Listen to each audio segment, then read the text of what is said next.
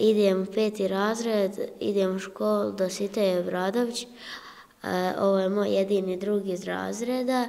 Za Čedomira i njegovog druga Jovana školski dani izgledaju drugačije nego njihovim vršnjacima u velikim školama i odjeljenjima. U petom razredu područnog odjeljenja škole do Site Obradović u Suvom polju ih je samo dvojica. Po učionicu i časove dijele sa šest učenika drugog razreda. Iskoristio to vrijeme nekada se igramo zajedno, pošto et, ima nas jako malo.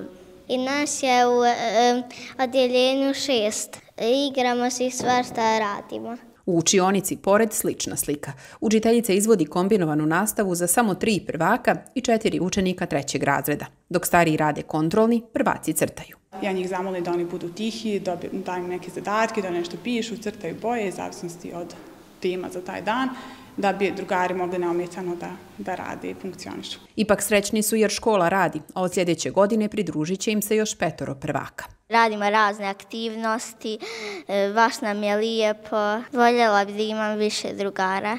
Kad nas nema dovoljno naše igre, kad e, mi se spojimo i napravimo jedan tim. Zahvalni smo što uopšte možemo da radimo i onda se mi snalazimo. Nastavni plan i program nisu prilagođeni kombinovanim odjeljenjima, pa onda mi pronalazimo načine da učenicima nekako spojimo i te najzgled nespojive sadržaje. Upravo seoske škole i sela plaćaju najveću cijenu poražavajuće slike stvarnosti u vidu smanjene stope nataliteta i migracija stanovništva. A najveći problem seoskih škola je migracija iz e, sela u grad. I u toku svake godine izgubimo određen broj džaka zbog e, migracija prema gradu. U poređenju sa prethodnih 10 godina e, taj broj se sa oko 25 učenika smanjio na ovih današnjih 15. Kolike su razmjere smanjenja broja učenika možda najbolje govori podatak Zavoda za statistiku Republike Srpske. 2008. godine upisano je 114.500 prvačića. 15 godina kasnije 84.600. To je gubitak jednog grada veličine Trebinja.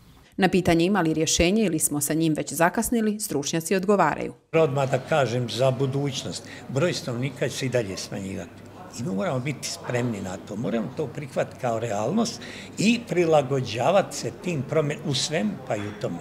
Dakle, ne samo sad kad govorimo o školskoj populaciji, a to znači da kvantitet koga više nećemo imati, moramo nadomjestiti kvalitetom.